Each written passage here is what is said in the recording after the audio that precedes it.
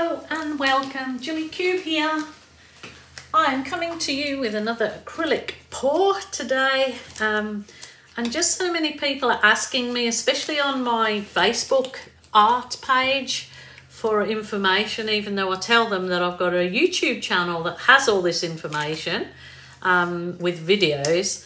Um, you know, questions like what do you keep the bottom of your canvases you know, from stopping the paint from ruining all the back of your canvases. Some people don't bother putting anything on the back. They like the rough and ready kind of look. Um, I believe if you're going to sell your artwork, then you need to make the extra effort to not get paint all over the back of your canvas.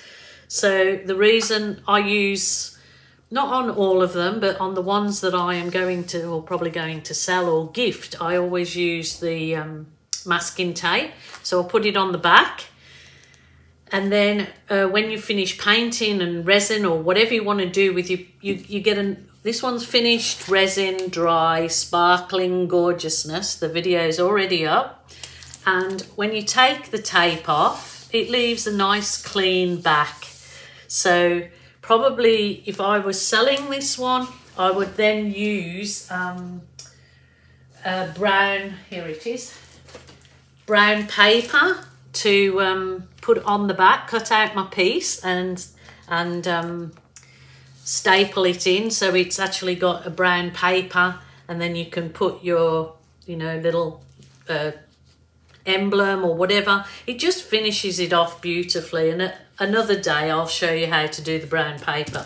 But just that little effort of putting that on leaves the back fairly clean. Got a little bit of paint, but that can't be helped. But anyway, if you are covering it, the back in your brown paper, then you don't really even need to do that. But it's just a nice little touch if you go that extra effort. But that's um, how I prepare my canvases. And the other thing I've been asked is about the, you know, how do you keep your canvases up off so the well there's a number of products. Some people use cups underneath. I've got lovely stands that molly from molly's artistry sent me that uh, she puts them up on stands which i do like love doing on really big pieces. But um, these i really love just these are just called giant push pins Underneath my video, I have an Amazon store that's got all of my supplies in there and more. And you can get these on, on the Amazon store or you can get them from the Australian online supplier that I have there. So I just use these and just my hammer and whack them in. And to get them out when you're finished is just wiggle is just literally wiggle them from side to side and they come out. So that's uh, pretty simple, but they do need a bit of a wiggle. Just wiggle, wiggle, wiggle, pull them out. Easy peasy lemon squeezy. Right, and then you've got your canvas is up and not um, sitting on your surface and it's ready to paint. So I've been asked that so often that I thought I've got to show people. Rightio what I'm doing today is I'm going to use up maybe the last of this beautiful turquoise that I have made up in here as my base coat. So it's just made up of my normal pouring medium, which is in the drop down box and is literally the global uh, turquoise with my um, homemade pouring medium. So I'm going to put this on here.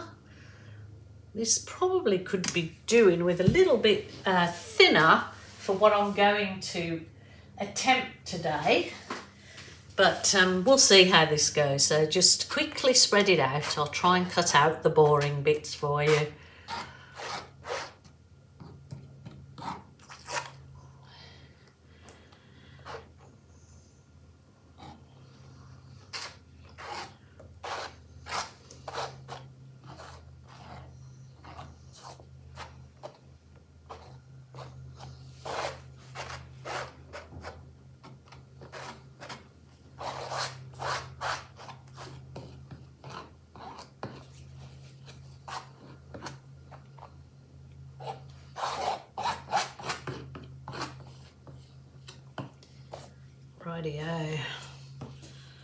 I think I'm going to add a little bit of um, Floetrol to that remaining paint so I can get it uh, thinner.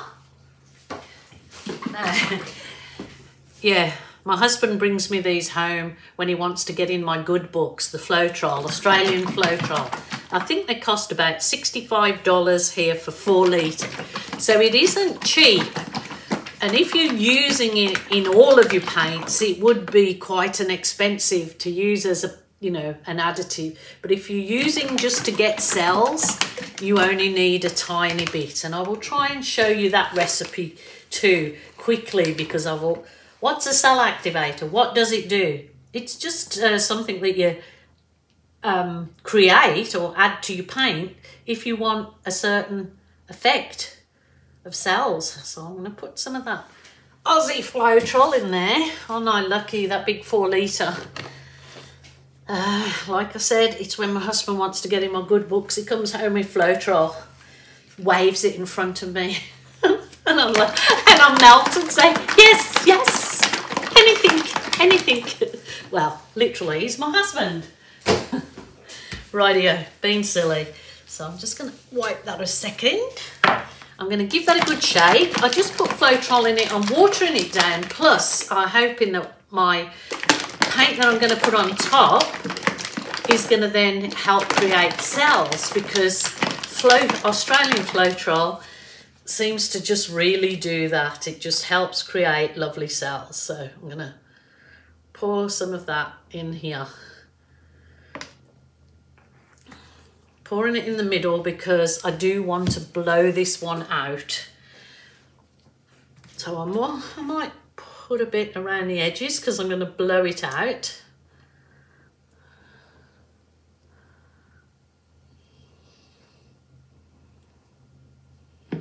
Rightio. That colour's absolutely stunning. Stunning, stunning. Right, on my base, I've got some of this, oh, what was it called? Uh, I think it is the cool red. Cool red. I always get mixed up between me cool and the warm. So this is cool red. And I'm literally going to do a puddle puddle pour. So nice, plenty of paint in there. I'm going to add some of the wicker yellow. It's a global colour. I'm not even sure if they do it anymore. I'll have to check. But it's like an orange yellow, so it's not too bright. And then I'm going to add some gold to that. Beautiful. And then, of course, one of my favourites is the dark purple, which I always make even darker by adding phthalo blue and a little blob of black. So that goes in there. I'm not going to actually add any um, special... Uh, this is just my white mixed up my normal way. It's down there in the drop down box telling you what to do. And this is some of the lovely turquoise. So I'll put some of that in there. And again, some of that lovely wicker yellow. And then I'll go again. Maybe this this is my purple that's, well, I call it this one my Berry Delicious because I've made this very dark. This is the very dark red a drop of phthalo, phthalo blue or cool blue and then um, black if you want it to go like the real dark cherry. That's really dark in there. So that's what I'm going to do with that today. So this is just one big puddle. A little bit more white. And I'm not after the selly selly look, but we're going to see how it goes. I'm going to whiz over with my heat wand to burst any air bubbles. These heat wands, they're also in the drop down box in the links below.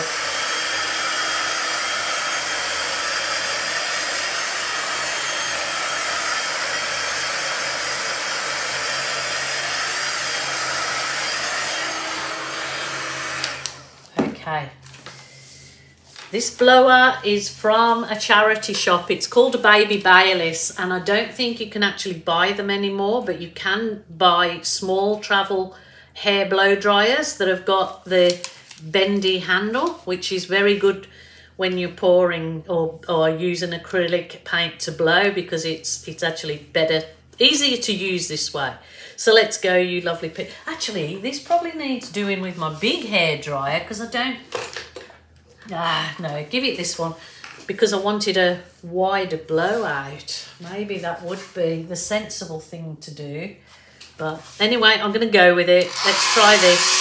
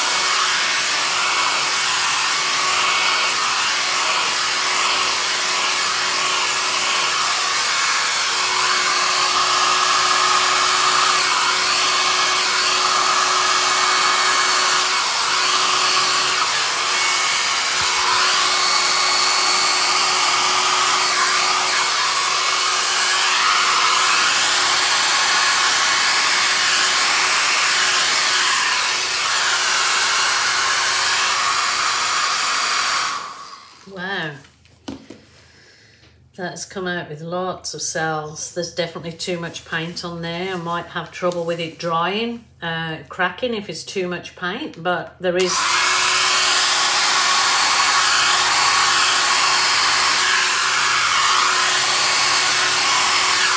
So the more I blow it out, the more risk I've got of sending it a bit muddy. This is gorgeous here. Um, I'm just a bit worried that this is a bit thick my um, I shouldn't have put so much paint. I went overboard. I absolutely love the composition of it. I love it. It's very nice. Maybe a little bit this way.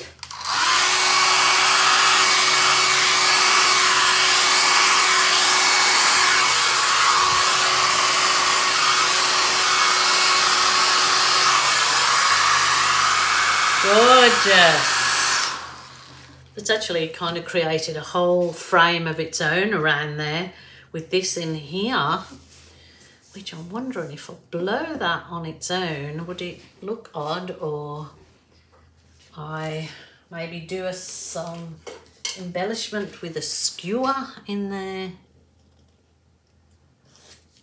Or outwards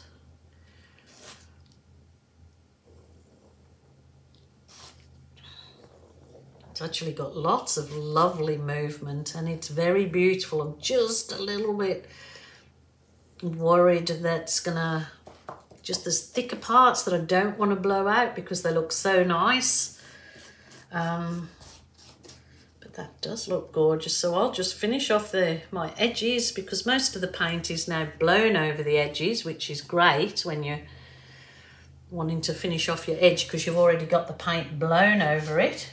So that's super duper. Pretty happy with that. Even though this has sort of gone like a burnt orange around there, this is kind of dragon-like. I love it. I'm going to bring you down and see what you think. Actually, lots of lovely movement in it. Just look at this. It's really gorgeous, even the colours are just beautiful. Um, I was kind of worried that they looked muddy, but they actually just look like burnt orange, which goes beautifully with that turquoise. Kind of like a nice bird in there with its beak showing through. It's like a flying elephant to me. And look at those. Beautiful. I love it. I'm really, really happy with that. It's just something a little bit different and quirky and I love it. And I hope you do too and I hope you've learnt something. If there was any info there that you found useful, please let me know. Don't forget to subscribe to my channel. That costs you nothing and it helps me and I'm really, really grateful. So I want to thank you lovely people for joining me today again and I'll be back tomorrow. Um, get my thinking cap on and try and do something again that's not the same old same old every day. So okie doke my lovelies. Take care and bye for now